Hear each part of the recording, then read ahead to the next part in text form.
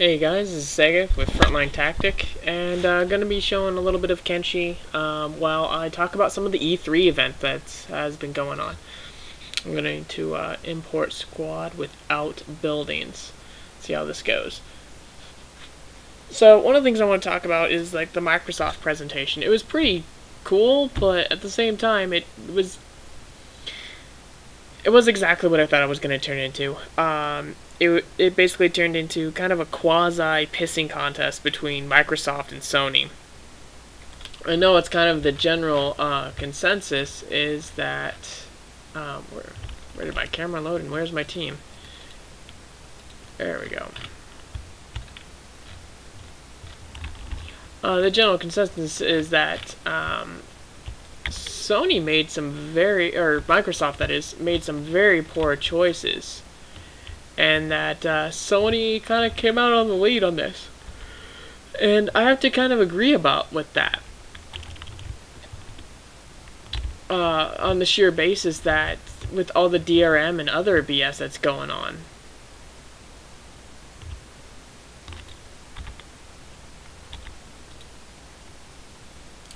But one of the games that, I mean, the Xbox One uh, it what it said it came out at 4.99 and right off the bat Sony said 3.99 uh, probably two major games to note for the Xbox One was that they really showed off that people seemed in, enthralled by was Halo 5 which I was not a big fan of Halo 4 I mean I rented that one for like two bucks out of Redbox. Uh, brother and I busted out in like two or three days uh, was not impressed. The story didn't make any damn sense, and it looks like they're going to be continuing on this um, the third game, or sorry, the fifth game or second game by uh, five four five. Yeah, is it five four five Studios? Yeah, it's the second game by five four five Studios. So it's going to be interesting to see how you know the directions that they want to take this, but was not impressed with Halo 4, so Halo 5 I'm not really going to be that enthralled or impressed with, most likely.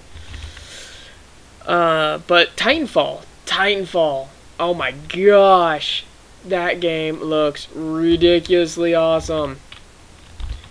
I know I, I shouldn't be getting all hopped up and uh, excited.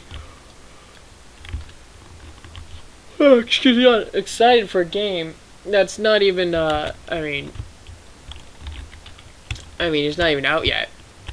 But I did find it kind of misleading that Microsoft went and said that it was uh, uh, an exclusive for Xbox. But then when I saw a little bit farther, some more presentation by the publisher, or not the publisher, but by the, um, you know, yeah, you guys know what I meant, by the producer. Uh, they went and said that it's going to be initially out on Xbox One, but it's also coming out on Xbox 360 and PC. And I'm not going to go into all the different DRMs that uh, that, that uh, Microsoft went and said that's going in. I'm not going to go into that. I mean, there's enough places already that has gone into enough of the kind of pissing contest of what's going on there's no reason for me to add into it. There, there's, there is, isn't.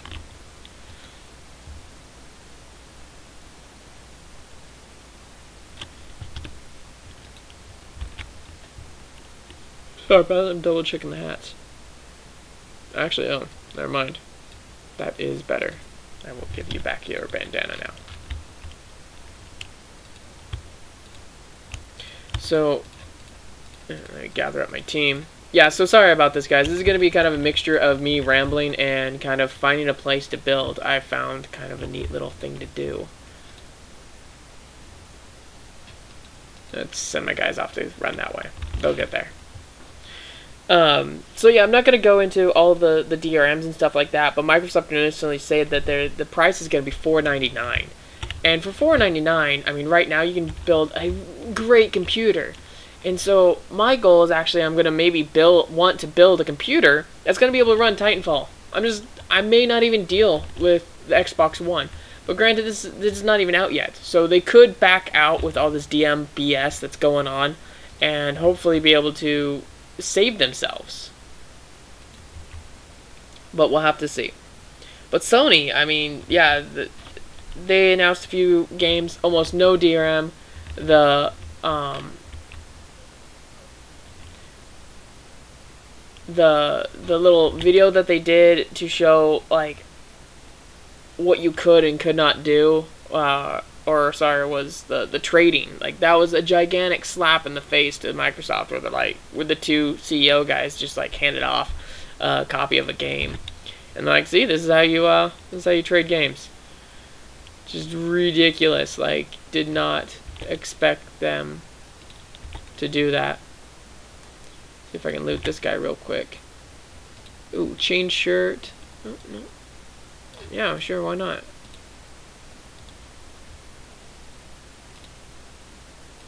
Take the extra hat, take the med kit. Uh, does he have red pants? No, he doesn't. Okay. So yeah, we're gonna just basically strip this guy. And then take his backpack. There we go.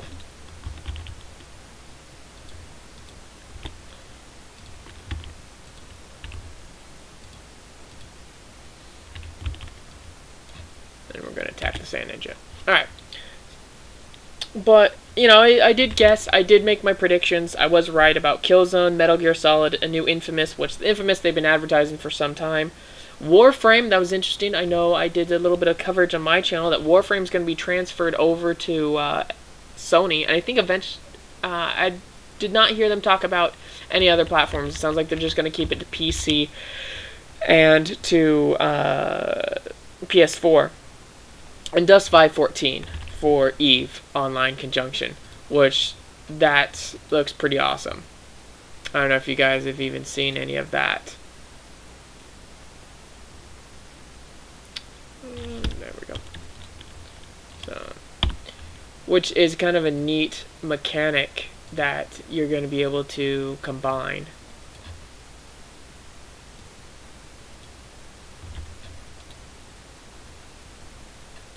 Let's loot the trade shirt. There we go.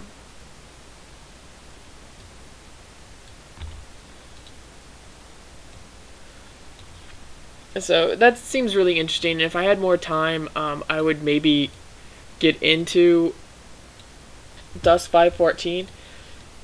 It kind of interests me. I have a buddy that was pretty fanatical about Eve. So I would I would maybe try to get into it with him, but I just don't have the time or the ability to do it. But from what I understand, Dust 514 and Warframe are both going to be free to play games. And one of the things that they wanted to basically go and say about um,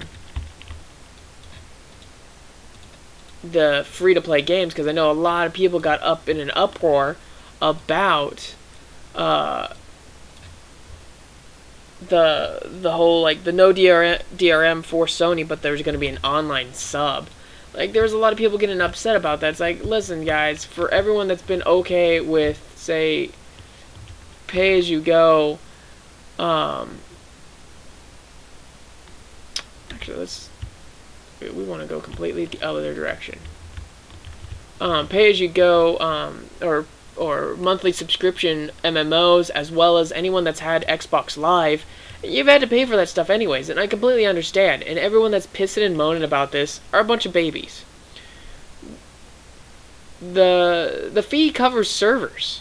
And I understand that majority of the average player, it's not going to cost them that much. You know, you know, was it comes out to five dollars a month or something like that. It's like 50, 60 bucks a year to to provide this service. I understand that uh, that is overcharging, but I did like what some I heard overheard someone in their commentary about the whole thing talk about how it's possibly going to cover up the lost costs of used games and things like that.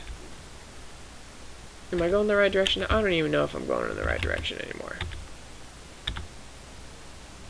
Um,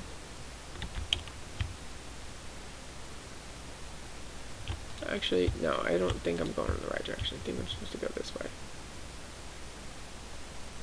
Ugh, I don't even know. And so it covers it helps cover the cost.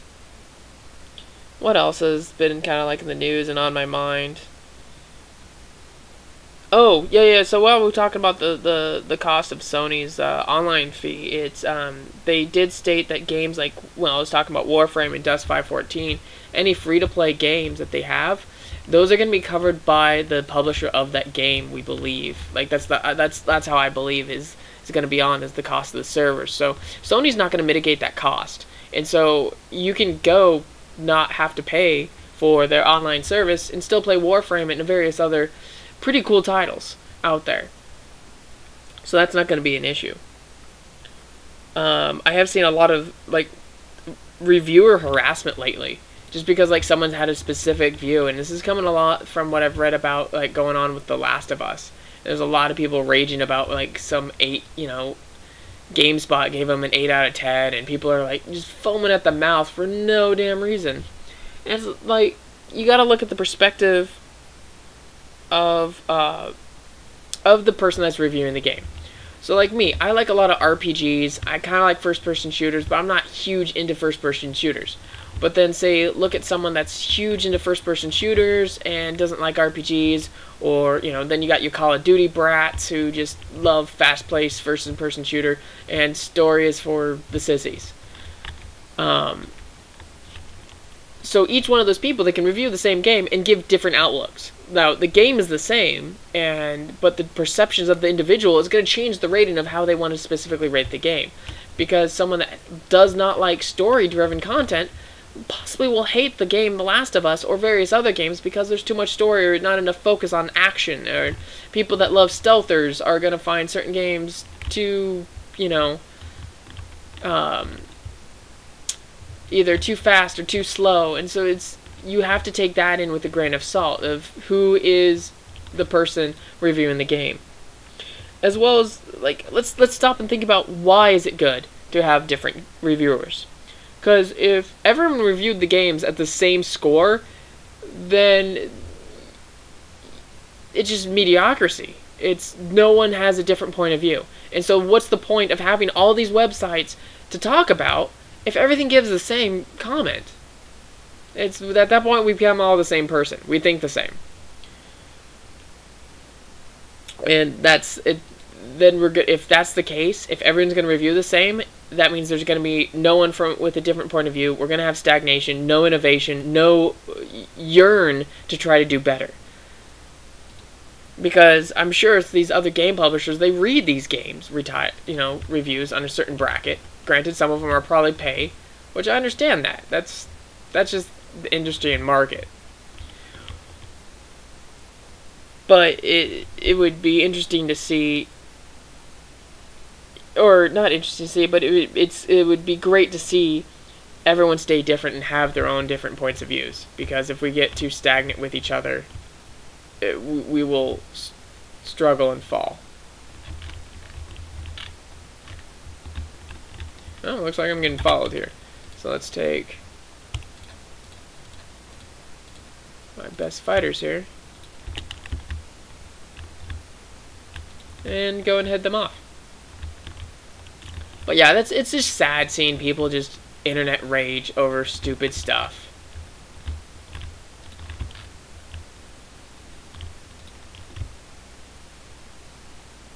Well, my guys really ran out far. Let's see, what else? I'm just hoping I can find some flat ground. Ugh, poor, poor Eric. Keep running, Eric. but there's some interesting stuff to see for the PC, and there's a few games that I'm really hoping to get into. Um, one of them, funny enough, was called Dying Light, which I believe is going to be on consoles, not on PC. Uh, one of I love games that kind of show great cinematics and stuff, but at a great cinematic trailer is great and all, guys, but you didn't show me in any shape or form any other types of video, like gameplay or anything. It just you shot you showed me nothing. That's if we want, you know, if we want to get down to it, you showed me nothing. Uh, you showed me a beautiful game you know, trailer and uh, video, or not so much video, but the potential of what's going to be happening. Like we saw the weapon change over time. We saw. Oh, damn, I am getting my ass stomped by this crew.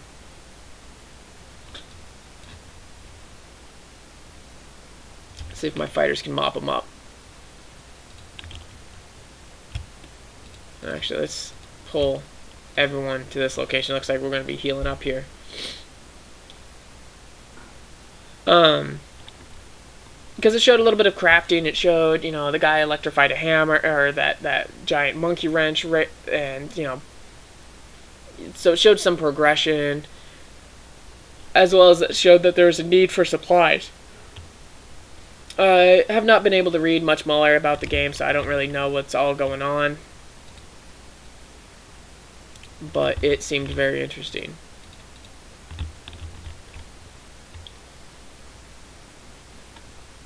Uh, another one I saw was Tom Clancy's The Division. Uh, I love Tom Clancy games. I think Tom Clancy games are amazing.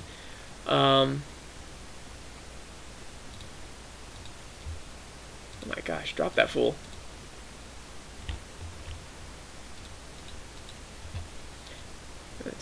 Get the first aid there.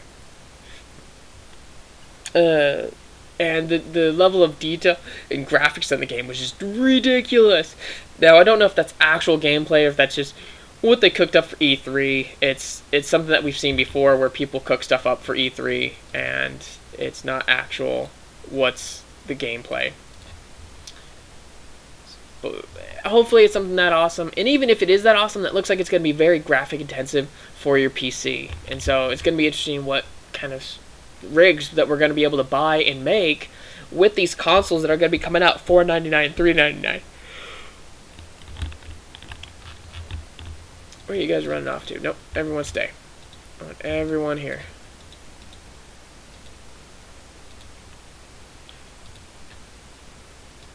Um, and so it'd be interesting to see the direction that things are going to go.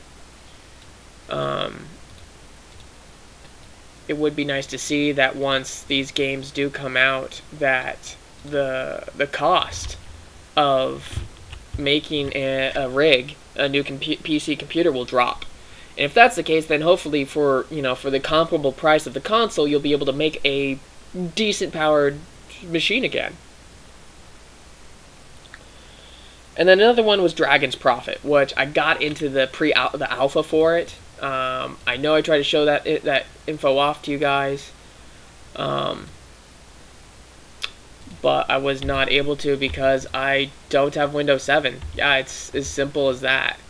Uh, Dragon's Prophet is uh, a, you have to have a Windows 7. There's a specific DLL file that is only found in Windows 7 or Windows 8. And so, yeah, I, I was not able to bring you Dragon's Prophet. I've thought about loading up and seeing if it's changed, but I don't know.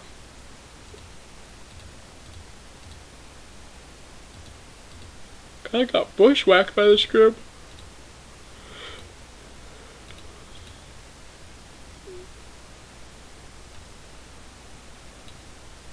See if we can pick him up. There we go.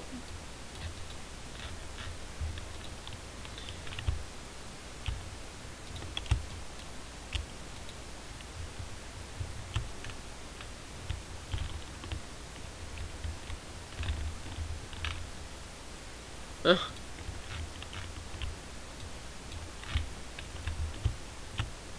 Went out and hunted that guy down.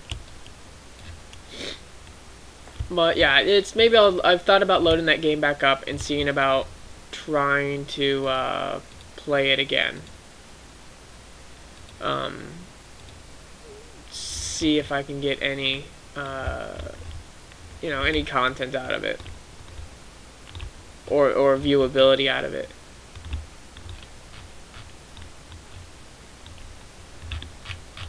There's really no flat land around here. This is a terrible place. I should have did research on where the best place is to to build. Um, let's check the map. Still want to try like Sorry about that. I want to I want to go check out what that circle is. Like what what is that circle? Um so yeah, this is kind of like me exploring Kenshi and rambling about E3 content. But like I said, it's going to be real interesting to see how things go, um, especially with some of Microsoft's DRM. Um, they may change it. Like they may be able, like I I have this slim hope that it's it's going they're going to uh, backtrack on some of the DRM because this is it's bloody terrible. I mean, it's just absolutely wretched. Um, plus, with some of their comments about just alienating people that um, that work in mining con, you know, let's say work uh, in reclusive mining colonies, uh, oil rigs, nuclear subs was the main was the main uh, comment, as well as say uh, military. Like, oh my gosh, you like you essentially alienated military. Way to go, Microsoft. The hell is wrong with you? Uh,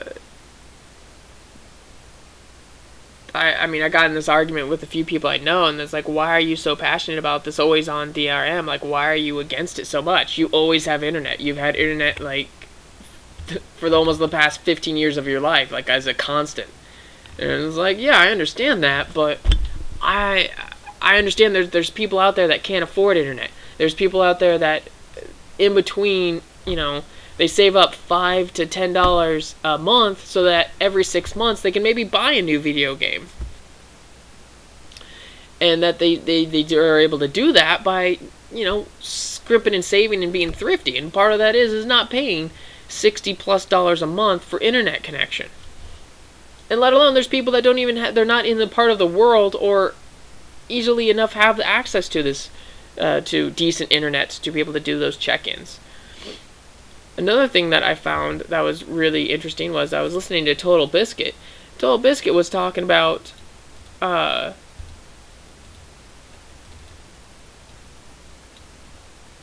I'm trying to figure out who picked him up. Ah, there we go.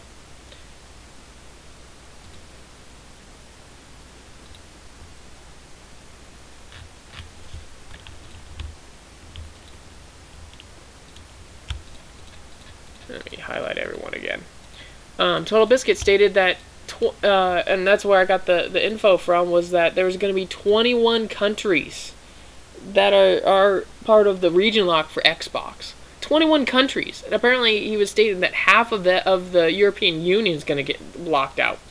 And uh, as well as, you know, uh, I was looking into getting into The Witcher 3, which was another uh, Xbox One launch. But that one, Poland is where the, the publisher is from, or the uh, the. They're not even going to be able to play their game when the game launches. How ridiculous is that? That is, yeah. And The Witcher has done so so much great work and and brought so many people to the consoles and. I mean, it, it's kind of like the more obscure Skyrim. But yeah, a lot of bad choices have been made, and I think a lot of good choices have been made. Well, because on that note, Sony has stated that they they don't have any region locks, so it's just going to be very interesting to see how truthful some of this stuff and how much some of this stuff is going to get backpedaled. Granted, I mean, I know I have not spoken too much ill about Sony, but Sony on this line can also easily backpedal and decide to make some choices similar to uh, is not going well. Uh, similar choices as uh, Microsoft. So it'd be interesting to see how things go. Oh my gosh, I'm in a giant fight with sand ninjas.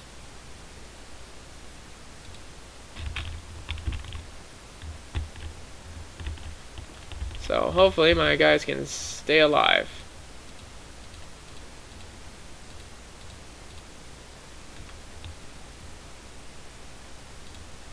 Start. Looks like we're gonna drop one of them pretty soon. Let's see what else. I don't know what else I want to say. I think I was just, for the most part, I got my rambling done.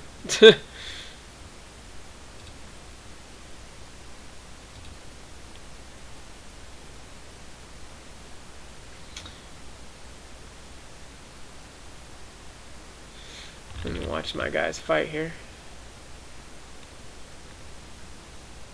Getting some good hits in.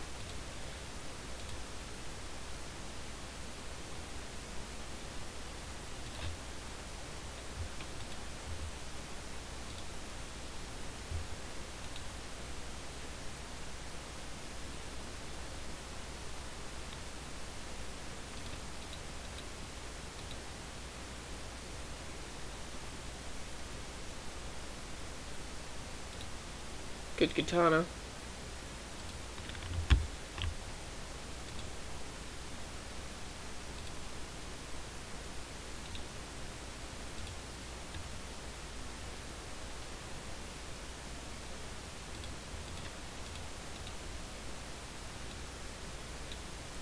How these guys start healing themselves?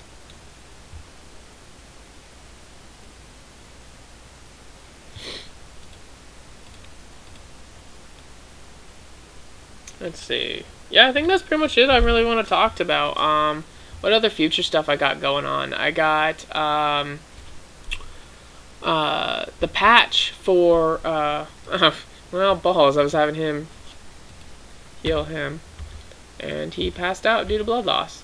Awesome. Leaf, get over here. Oh, Leaf doesn't have any bandages. Okay. Alright. Need you on him.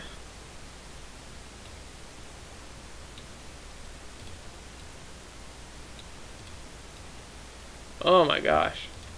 You guys are tore up.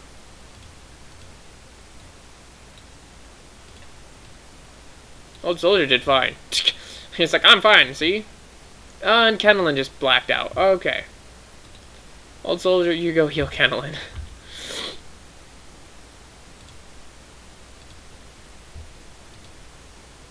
Oh, Leaf just blacked out. Okay. You go heal him.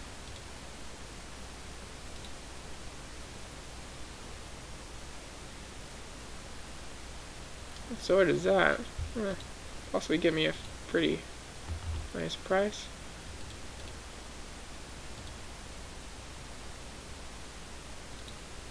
Straight edge katana.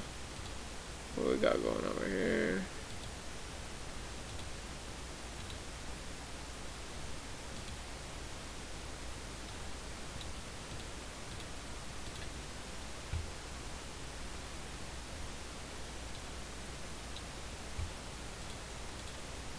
Wow, yeah, I got my shit rocked.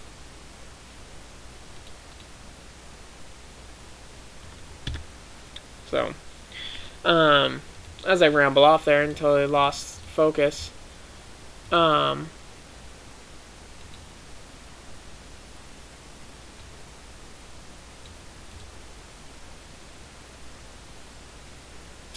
uh, but yeah, so I'm still waiting for the update for Kenshi. I love this game. I think it's awesome. Um, just gonna show you this trick. So apparently, let me quick save it real quick. There we go. So because I had it crash before, but if you do Shift F12, you can pull up this huge list and like be able to build anything. Yeah, get rid of that just because it's um, yeah, kind of tedious.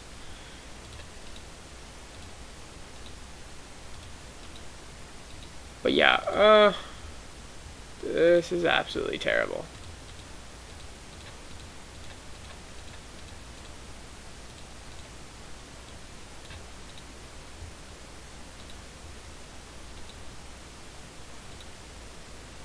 So, Gensi, you're going to pick up him.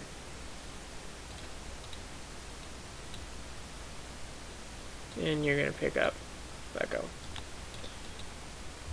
go. Oh, gosh. Nice town out there. But yeah, so I'm waiting for the next patch. I've already talked about it in one of my previous videos about all the things that they're doing. Um, as well as I'm looking forward to the patch for Terraria is coming out soon. That's going to be awesome. Um, Uh, they announced Blood Bowl 2. I'm hoping that's going to be awesome. That's hopefully fix some of the bugs and things like that that they had. Who knows? We'll have to see. Um, but yeah, I feel like this was mostly me just rambling and didn't know really what to do. Um, I had today off from work and I just felt bored. So, yeah, yeah, I'm just kind of like that. So I think I'm going to pretty much end it. Um, uh, comment, rate, tell me how you like this. Um, if you thought that I just ramble about stupid crap all the time, then hey, let me know. And I will continue to work hard to fine tune um, the my my direction of speech. I know sometimes I get a little just rambly and talk in circles sometimes. Um, one of the things I started to do is writing down a script, and that's kind of helping me a little bit. But sometimes when I'm trying to focus on the screen and the controls, it I get sidetracked. Um, but yes, uh, another. So send me email. You know, um, Segef the Destroyer at Gmail, or just message me via YouTube. As well as you can send me a message at my Twitter, which is at Busted Helix. I will have the con- uh, information down in the bottom. Um, but yes, let me know what you thought. Comment. Uh, if you think that any of my ranting on the E3 thing is wrong, I want to hear your opinion. Because that's, you know, I, I can't state, you know, go and uh, argue about the reviewer harassment and about how great it is to have different points of views and then not be willing to listen to yours. So please let me know. So remember, message me at at Busted Helix uh, via Twitter or message me here on YouTube or leave a comment. All will do good. I'll save it here as my team tries to catch their breath. And uh, yeah. Have a good night, folks. Bye.